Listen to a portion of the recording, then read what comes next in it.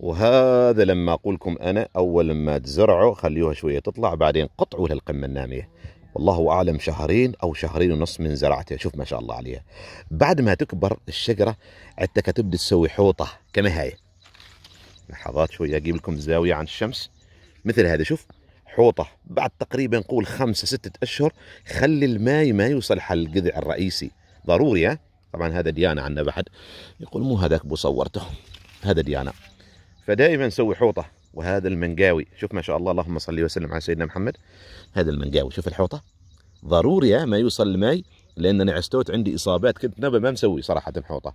فاصلا عندي إصابات وهذه الإصابات صراحة في القذع تلقى حشرة قشرية وماصة للعصارة.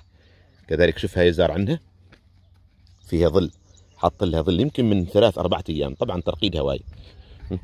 فيها ظل. إلى أن اشوفها ماسكه أبدي أزيل الظل تدريجيا حبه حبه حبه حبه لك عشان تتعود. وهذا الاعمال خلاص بديت أحوط أنا. كل هنا خليهن ما يوصل بعدني اكبر هيك الحوطة. كل هنا خليهن ما يوصل حاله هذا نبدي أنا. إن شاء الله. قول اللهم صل وسلم على سيدنا محمد. شوفوا هاي الحوطة. عن تخليها توصل. عن تقول ما قايل. وتقول لي الكديس تراك ما قلت إن نسوي حوطة واصابت عندي أمراض. ها وأنا أقوله. لكن متى تسويها؟ ما من البداية.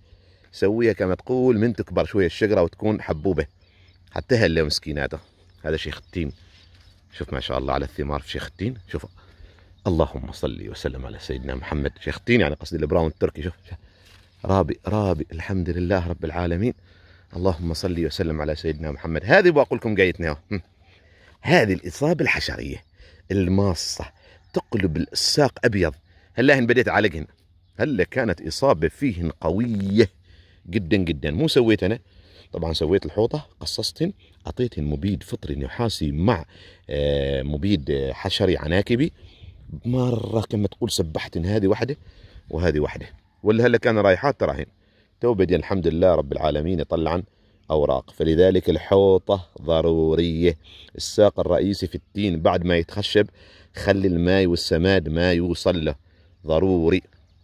تمام؟ يلا إذا متلاقين وبارك الله فيكم وفي مساعيكم وجعل الله مثواكم الجنان.